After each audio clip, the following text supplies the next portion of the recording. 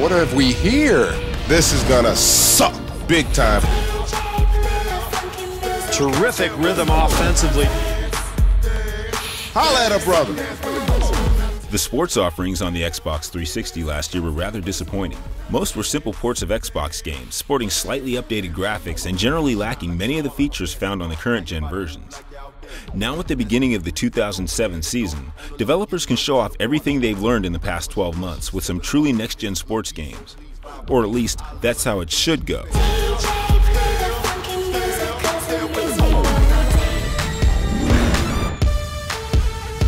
The play options in Live 07 are typical, if not impressive. All the mainstays are here. Single game, season mode, dynasty, and online play that's limited to a single match.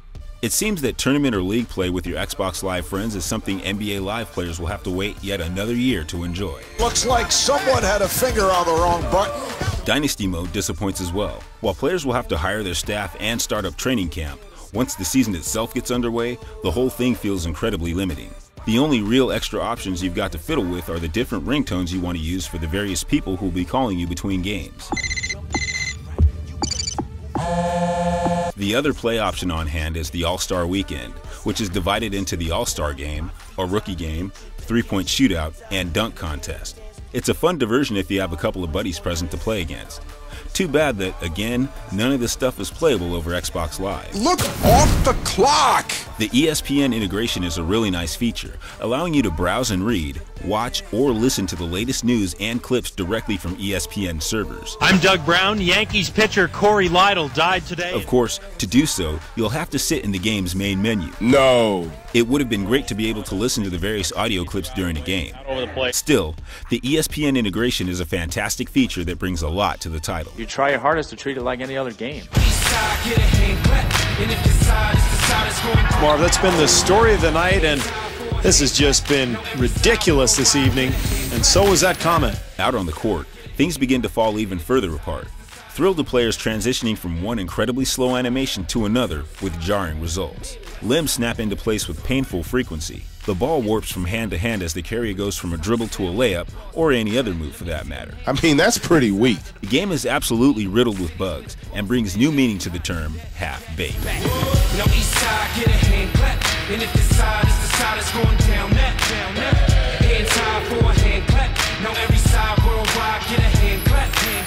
At least you'll have plenty of time to observe all the issues. For such a fast paced sport, NBA Live 07 moves like Charles Barkley in a vat of hot fudge topping, especially when passing the ball around.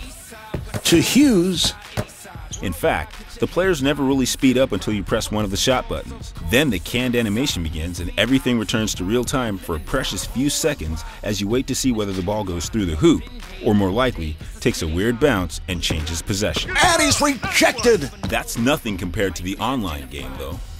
NBA Live 07 is one of the worst games you'll ever play, simply because a good connection is an impossibility. Laggy games lead to players warping all over the court and kill what little fluidity Live had to begin with. In other words, it's an offensive free for all, since playing D with characters that snap from one side of the court to the other instantaneously is next to impossible. I'm sure the fans are having problems with it. I'm speechless.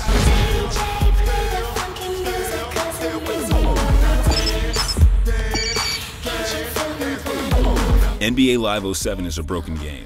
Every time you play it, you'll find something else that's not right. While the various play options and ESPN integration makes for a great front end, the slow mo gameplay, horrid animation, and awful online execution means that the competition, NBA 2K7, is the only game in town for virtual ballers this season. Come on. This is gonna suck big time. No surprise here, Greg. And there it is, Greg. The lowest score Oh, that's mediocre at best.